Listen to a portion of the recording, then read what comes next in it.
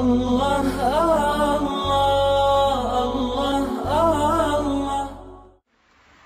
بزرگوں نے کتابوں میں لکھا ہے کہ دس حماقتیں ہیں، بندے کو ان حماقتوں سے بچ جانا چاہیے۔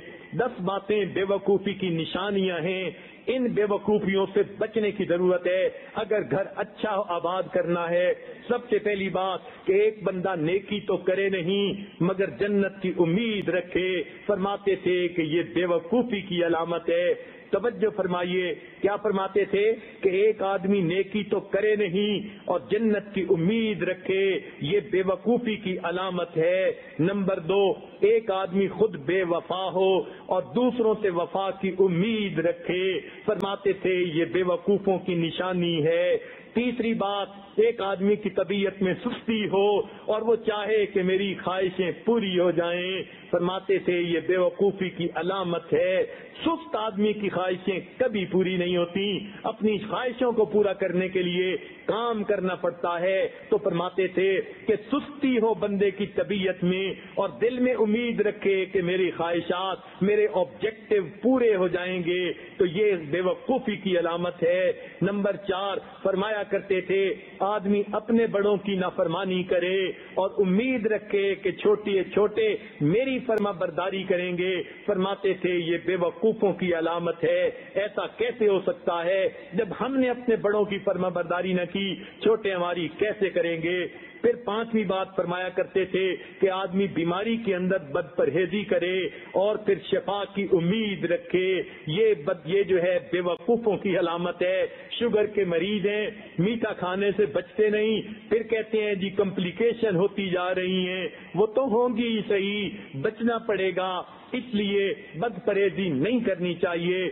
تو جو آدمی بیماری میں بد پرہیزی کرے اور شفا کی امید رکھے، فرماتے تھے یہ بے وقوف وقوفی کی علامت ہے چھٹی بات فرماتے تھے کہ جو آدمی اپنی آمد سے زیادہ خرچ کرے اور خوشحالی کی امید رکھے، یہ بے وقوفوں کی علامت ہے۔ اور کئی مرتبہ عورتیں ایسی غلطی کر گزرتی ہیں، جتنی چادر اتنے پاؤں پھیلانے چاہیے۔ اگر خامن کی ایک حد تک جو ہے وہ آمد ہے، تو پھر اپنے خرچوں کو بھی اتنا رکھیں۔ اگر خرچے زیادہ کر لیں گی، تو پھر جھگڑے ہوں گے۔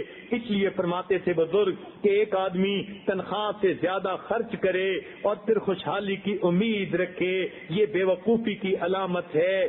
ساتویں بات، فرماتے تھے کہ مشکل وقت میں لوگوں کی مدد بندہ نہ کرے اور امید رکھے کہ میرے مشکل وقت میں لوگ میری مدد کریں گے۔ فرماتے تھے، یہ بے وقوفوں کی علامت ہے۔ اور آٹھویں بات کہ فرمایا کرتے تھے، کسی دوسرے کو رات بتا کر یہ کہہ دینا کہ آگے نہ بتا دینا، آگے بتا، نہ بتانے کی امید رکھنا، یہ بے وقوفوں کی علامت ہے۔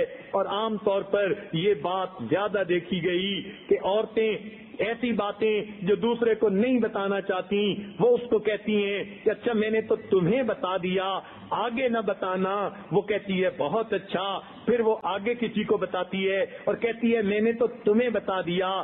آگے نہ بتانا۔ آگے نہ بتانے کی امید پر یہ راز اوپن سیکرٹ بن جاتا ہے۔ ٹاک آف دی ٹاؤن بنا ہوا ہوتا ہے۔ اور عورتیں اس عادت میں اکثر ملوث دیکھی گئیں۔ دل میں بات رکھ نہیں سکتی۔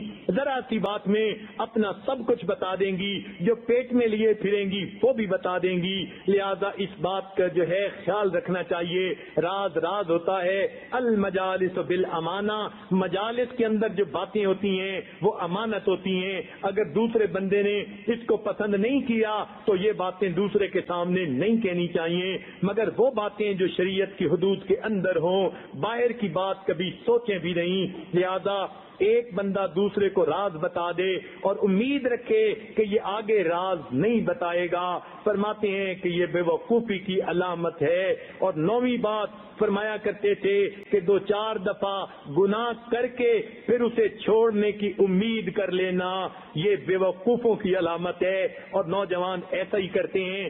دل کہتا ہے اچھا یہ گناہ ایک دفعہ کر لیتا ہوں، پھر چھوڑ دوں گا۔ تو جب یہ دل میں امید آ گئی کہ دو چار دفعہ گناہ کر کے پھر چھوڑ دیں گے، یہ بے وقوفی کی علامت ہے۔ گناہ جب کر لیا، عادت بڑھ جاتی ہے، پھر انسان گناہ سے بچ نہیں سکتا۔ اس لیے دو چار دفعہ بھی نہیں کرنا چاہیے۔ تو یہ نو باتیں بے وقوفی کی علامت ہے آپ سوچ سکتی ہیں کہ دسویں بات جس کو ہمارے بزرگوں نے بے وقوفی کی علامت کہا، وہ بلا کیا ہو سکتی ہے؟ ذرا اپنے ذہن میں سوچئے تو صحیح۔ مگر بتا دیتا ہوں، ہمارے بزرگوں نے فرمایا کہ جو خامن بیوی سے روزانہ جھگڑا کرے اور پھر چین سے رہنے کی امید رکھے، فرماتے تھے، یہ بے وقوفی کی علامت ہوتی ہے۔ لہذا لا إله إلا الله، لا إله إلا الله، لا إله إلا الله، لا إله إلا الله، لا إله إلا الله. لا